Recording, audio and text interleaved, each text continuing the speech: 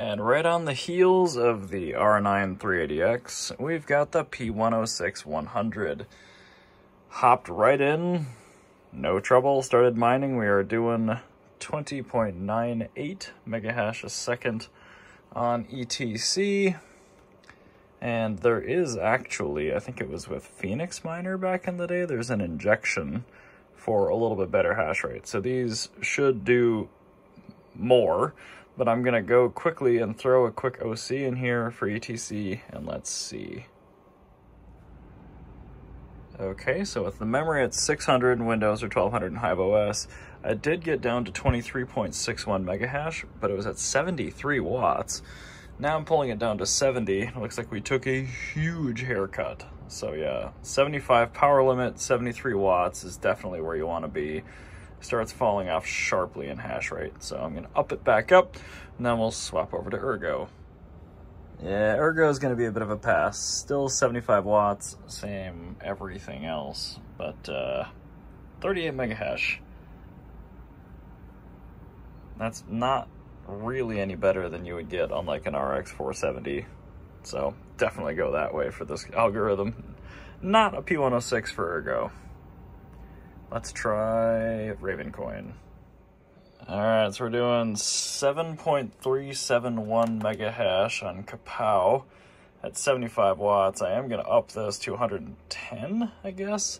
So I'm not leaving it on the screen right here because it is kind of flickery. But let's see what we get with 110 watts on KAWPOW.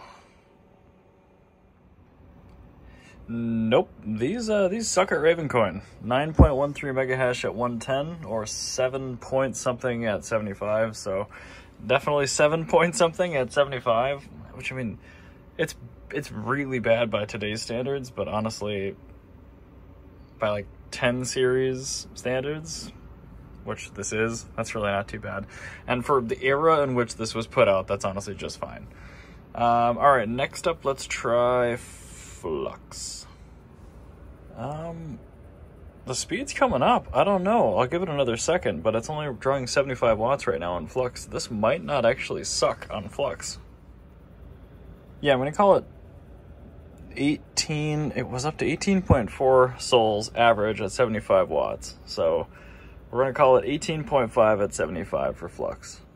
All right, she's doing 214 on Kaspa, but 110 watts, which is too much. So I'm going to cut it back to 75. We'll see what the core is like. Okay, and we've got 203.5 at 75. Actually, 208. So definitely much, much better at 75. I know the cores fall off like crazy on these cards below 70 or 75, so I'm not even going to try 60, even though they technically support it. So there you go. KASPA 208 mega hash at 75 watts. Right now, pretty bad, but you know, in the future, a year or two down the road, if profitability starts shooting up again on all these coins, at least you know that you can plug in your old P106 100 and those are your hash rates and your power consumptions. So again, this was just done for fun. Not an efficient GPU, not suggesting you go buy one of these, especially because it's not good for gaming like the R9 is, um, these older games.